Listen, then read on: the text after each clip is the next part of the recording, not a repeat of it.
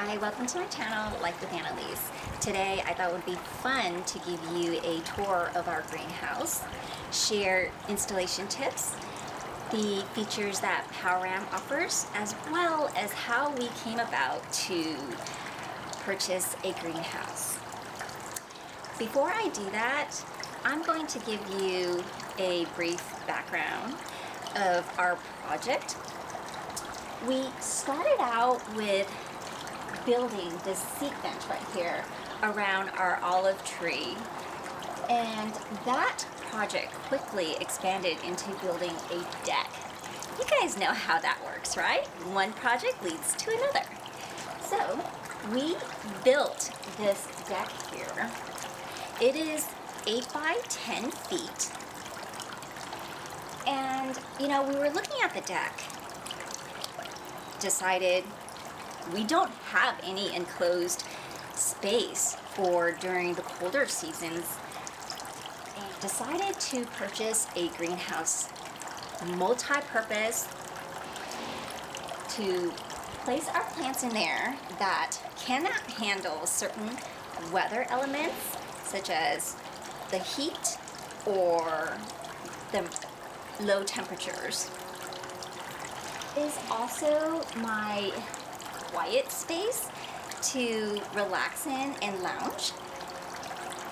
All right, so what I am going to talk about now is our greenhouse. It is a Palram Mythos greenhouse. It comes in sizes 6 by 6, 6 by 4, 6 by 8, 6 by 10, and I believe the larger sizes, but those were the ones that we were looking at. After reviewing all the greenhouses and how much it cost, the 6 by 10 fell into our budget.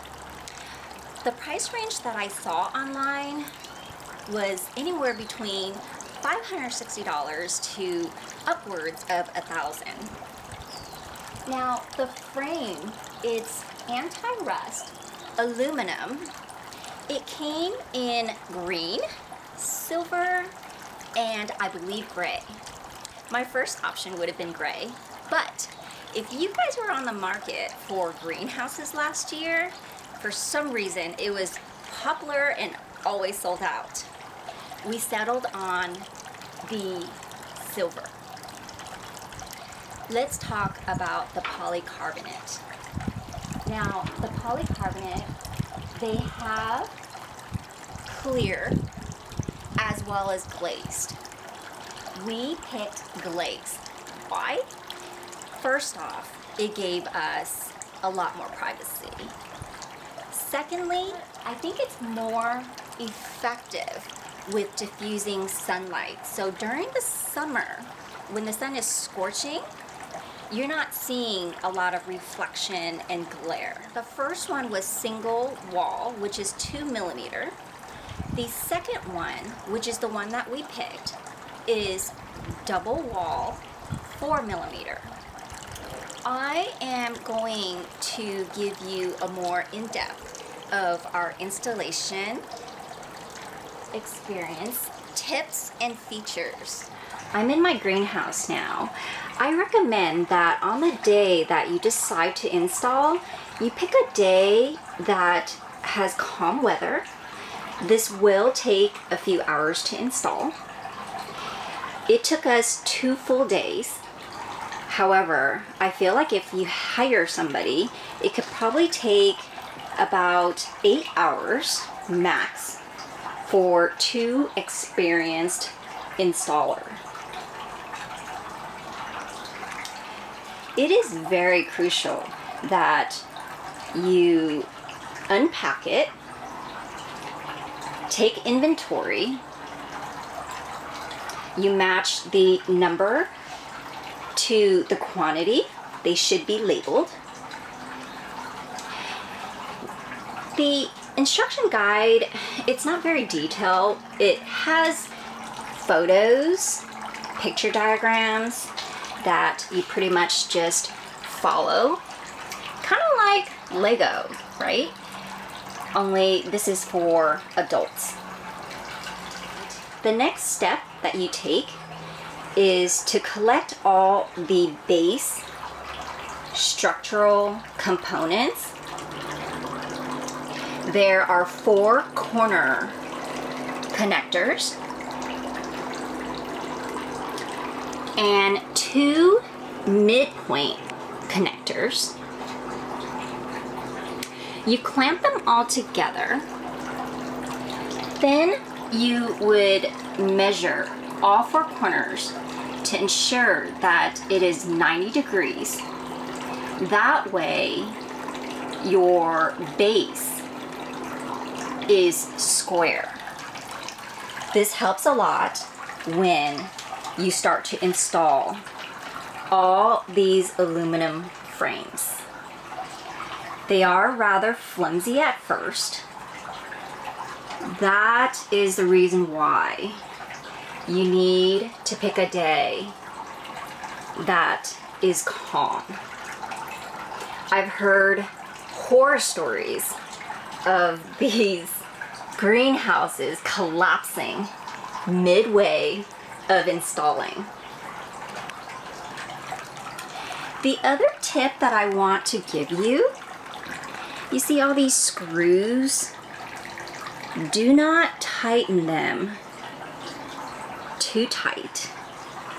You want to leave yourself flexibility to loosen it up and slide in these polycarbonate pane.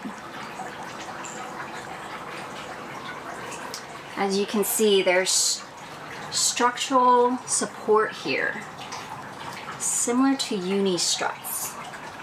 You will see it in all four corners. Once you're done installing, you'll be pleasantly surprised that this greenhouse is rather sturdy. Now I'm going to move on to features. Just think of these greenhouses as semi-modular greenhouses. We purchased this Mythos greenhouse, which came with manual vent window openers where you twist and you just open it. Self-explanatory, right? Literally the day after we installed, we experienced a windstorm and the vent window got knocked down several times. Afterwards, we took a trip to Home Depot, grabbed this auto vent window opener it has a built-in temperature, humidity level control. It automatically opens and closes to allow sufficient airflow.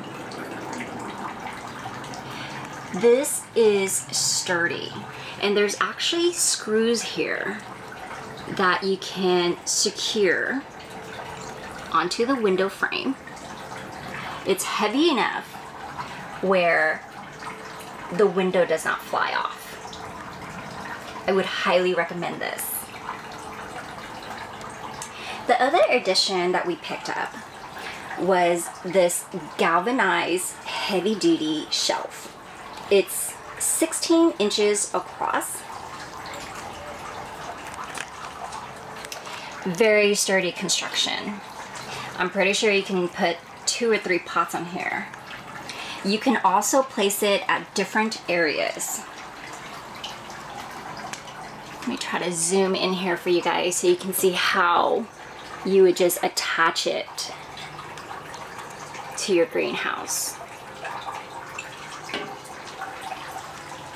While at Home Depot, we did notice that Palram offers some additional vent windows you can install for more airflow. They also have temperature control. They have greenhouse heaters. There's just so many options that you can add on.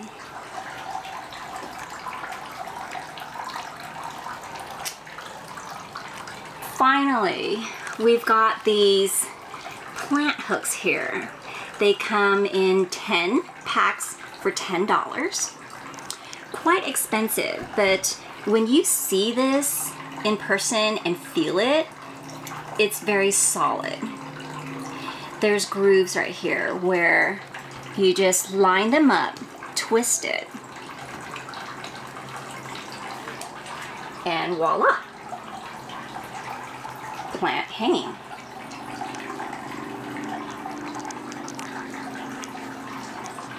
All right, I am going to take you on the exterior of the greenhouse now. The door. There is a locking system.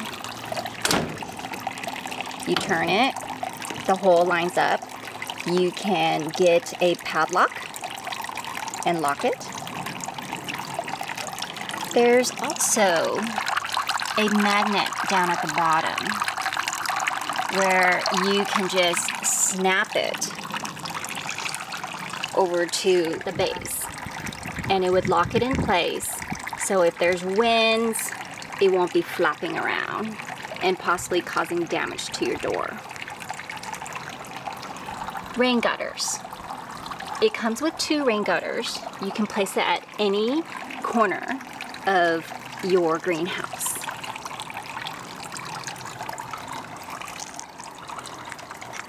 You can see here, there's rain gutter. It collects water, runs down, and we would just put bucket at the bottom to collect the water and use it. Great idea, right? The height of the Palram greenhouse, at the very top, it would be seven feet.